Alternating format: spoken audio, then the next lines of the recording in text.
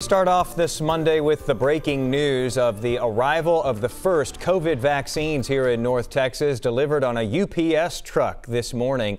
Recipients are already inside the hospital at this hour about to get that shot. It is a momentous day to be sure. Uh, welcome to Midday today. I'm Jason Wheeler. This is one of the most important days of 2020, Delivery Day, as we finally get tangible hope now that this pandemic can eventually be brought to an end. Millions of doses of vaccine are on the move. Pfizer shipping nearly 3 million vials of it to all 50 states and to U.S. territories throughout the week.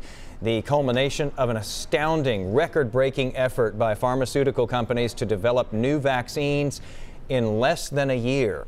Hospitals all across the country are starting to get those shipments. In New York, nine centers are now set up to begin vaccinating frontline workers as early as this afternoon, while in Chicago, Rush University Hospital transformed its lobby into mass vaccination bays today.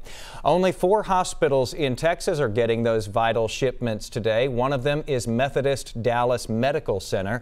Our Chris Sadeghi is there today to keep up with the breaking developments. Hey, Chris. Hey Jason, the vaccines are here at Methodist Dallas. They arrive this morning on a big UPS truck, and the first recipients of that vaccine could be getting their shots right now as we speak. Here's video of the big moment, the delivery they've been waiting for, just a couple of boxes on board a giant UPS truck a big occasion for Methodist Dallas. They told us the first recipients were scheduled to arrive around 10 o'clock to start doing the proper paperwork and then receive the vaccine. We're told that the frontline workers here signed up in time slots to get one of the 5,850 doses sent in this first round of shipments. They hope to administer all those doses to staff by the end of next week. Those recipients will get their second dosage three weeks later. The shipments will keep coming until the entire organization is vaccinated. This is the first hospital in North Texas to get their vaccines, one of only four in the state scheduled to receive theirs today, but many more are to follow. 19 Texas hospitals, including Parkland and UT, UT Southwestern in Dallas, will get their shipments tomorrow.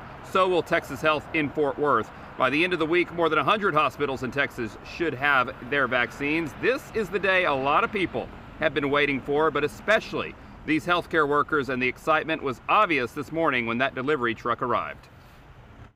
I've been in healthcare a long time. I've seen a lot of important events. I can't imagine a more important event than today, and I can't imagine a more special early Christmas present on behalf of the communities that we serve and the staff that we serve throughout North Texas.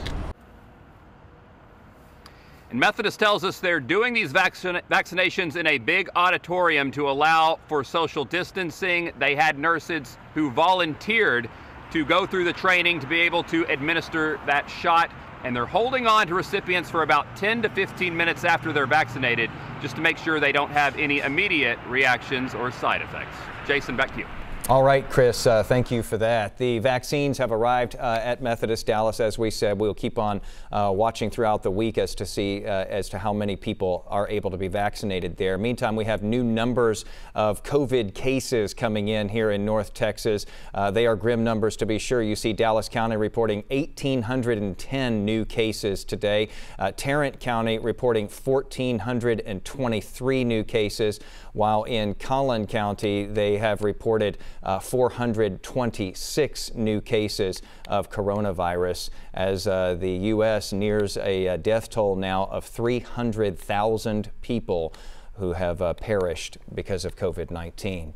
While the vaccine does give hope, the U.S. Surgeon General warns we must still be careful at least through mid 2021.